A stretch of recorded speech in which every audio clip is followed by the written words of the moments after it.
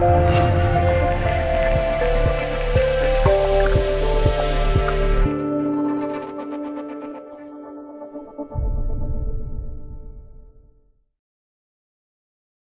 文系吉祥文化团队原创，全网开通原创保护，禁止一切抄袭、洗稿。如有发现，必严肃处理。原创不易，欢迎关注交流。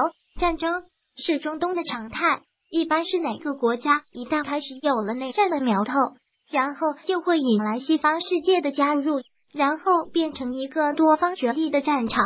叙利亚战争为什么打了八年？这就是一个个活生生的例子。北约等国家的加入，真是为了促进地区和平吗？我们要打一个问号。最近，伊朗国内也开始闹腾了起来。伊朗媒体报道称，在前些日子，伊朗西部多个城市遭遇不明武装组织的重大袭击，目前已经有三个城市失去控制，现在局面十分紧张。很多军迷也是很惊讶。作为中东第二军事强国，伊朗这是怎么了？敌军好像对伊朗各个军火仓库以及军事基地摸得很清楚，经常会给伊朗的关键部位带来极大的打击。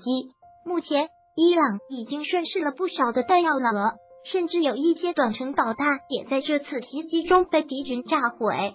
据专家分析，本次不明武装分子应该是属于近期在伊朗西部地区。活跃异常的库尔德武装分子，这也是出乎了大家的意料。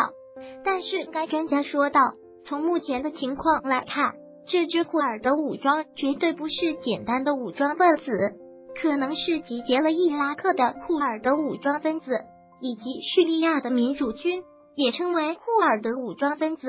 这次袭击绝对不是偶然发生的事情，这次极有可能是中东全。布库尔德武装分子一起谋划的一起袭击事件，这对伊朗来讲绝对不是一个好消息。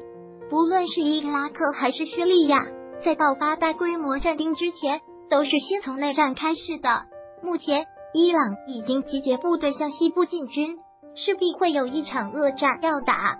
接下来就看伊朗能不能将本起事件的苗头扼杀在摇篮里了。